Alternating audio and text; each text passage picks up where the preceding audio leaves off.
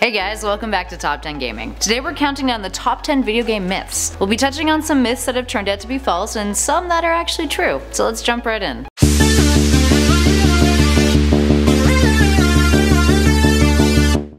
This list with a number that we've talked about in a few of our other Pokemon videos, we've got Lavender Town Syndrome in at 10. The myth with this one is that the music that plays when you are in Lavender Town was responsible for a ton of children's illnesses and suicides. It's rumored that about 200 children had killed themselves after getting to Lavender Town, and the ones who didn't commit suicide usually complained of severe headaches. And because of this, developers adjust the music to be at a lower frequency. I don't know how I feel about this one, what do you guys believe?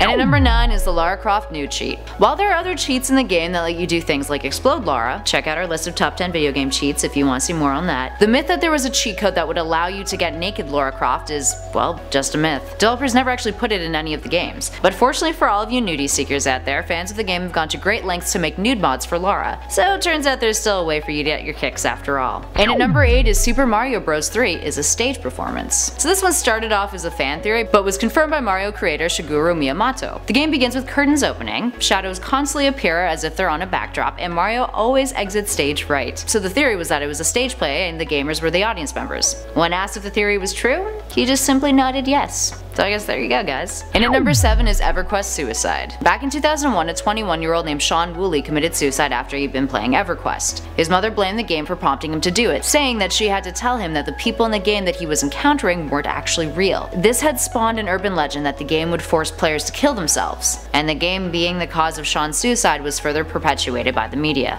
This one is quite false though. While what happened to Shawn was pretty tragic, there's no proof that the game actually influencing players to commit suicide, despite Sony Online Entertainment refraining from looking into Shawn's personal account data. And at number 6 is Halo Pistol Intentionally Overpowered. If you've played Halo, you've noticed the difference between the M6D personal defense weapon, aka the basic looking pistol in the game, is pretty damn powerful. To the point where there was a myth circulating that developers had done this intentionally. And guess what? The myth is true. It was confirmed by Jason Jones in 2013 that they had actually adjusted the power of the gun before they shipped the game out. And at number 5 is Atari buried copies of E.T. in the desert. Here's a hilarious one. So some of you may know that Atari's adaptation of Steven Spielberg's classic film E.T. was a total bomb. Some say it's one of the worst games ever created by the company. And to be fair, it was whipped together in 6 weeks time, and a ton of copies that were made just never ended up selling. So what did Atari do with all those unsold copies? Buried them in the desert, of course. Like ditching a body of a person you accidentally murdered, Atari dumped a bunch of their unsold stock in the desert back in 1983, and a documentary crew dug it up along with other unsold games in 2014. And at number 4 is GLaDOS Bondage Woman.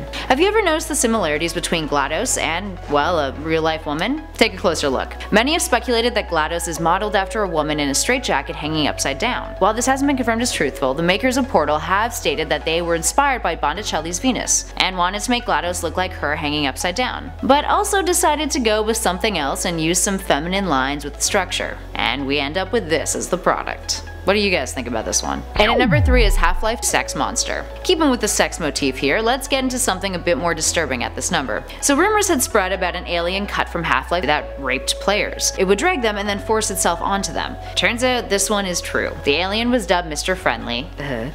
and it was the size of a small horse. It ate corpses of dead enemies, and it would stand on its rear legs and spank the player, and would also vomit as an attack. Sounds like a fun time. Oh, and let's not forget the best part. It would drag its victims towards them until fatal copulation had occurred. It spawned a discussion between Gabe Newell and Ted Backman about the use of sexual themes to elicit a response from the innate homophobia of 14 year old boys. Luckily, they decided having an unsettling raping creature in the game was a bad idea, so it got ditched before the game came out. And at number 2 is Aliens in GTA 5. It's been speculated since its release that there are aliens in GTA 5, aside from Michael's grassroots mission where you have to shoot down a bunch of imaginary aliens, that is. This is mainly due to a plethora of alien easter eggs and hints scattered throughout the game. There was an alien egg model buried deep in the code of the game, which had no scripting attached to it or any specific functionality, until a recent update got people stirring through the conspiracy pot again.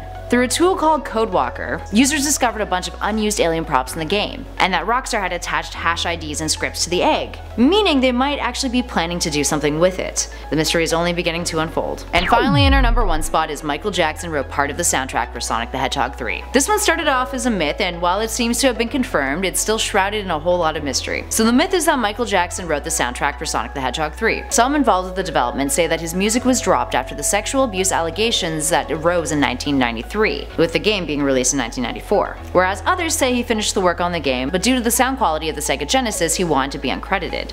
Check it out for yourself, specifically the end credit music, the Ice Cap Zone theme, and Carnival Night Zone theme. There we have it friends, what do you guys think of these myths? Do you think the unconfirmed ones are true? Let us know in those comments below. And as always, if you dug this video, make sure you hit those like and subscribe buttons. But for now, I've been Kelly Paoli for Top 10 Gaming and I'll catch you guys in the next one. Thank you.